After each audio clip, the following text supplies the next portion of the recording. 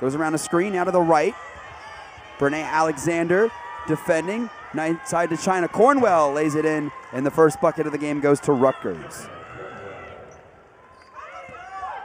Here comes Maryland the other way quickly. Three on the way and good for Brinae Alexander.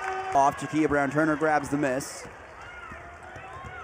Brown Turner going all the way, and that is going to be, I believe, in and one. Yeah, it is. 2007 to 2019. A Couple of stops at Notre Dame, her alma mater, as well. Shyanne Sellers drills a three to start the second quarter. Here's Jillian Herder.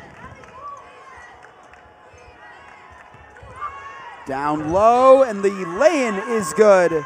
It'll be an and one opportunity for Cassandra Brown as Rutgers.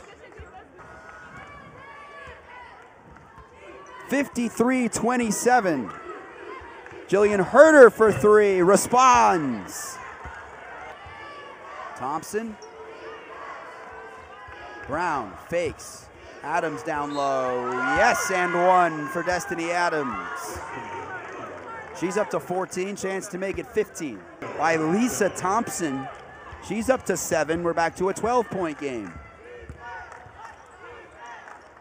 Three, Brinae Alexander, you bet.